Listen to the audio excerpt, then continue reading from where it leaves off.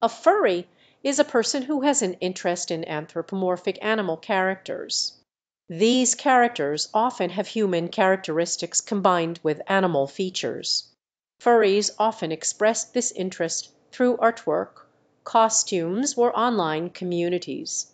It is a form of creative expression and can be considered a hobby or a fandom. Furries may create their own character, known as a fursona, to represent themselves within the furry community. It's important to note that being a furry is not inherently sexual or adult in nature, although some individuals may incorporate it into their personal interests. It's a diverse and inclusive community that celebrates creativity and imagination.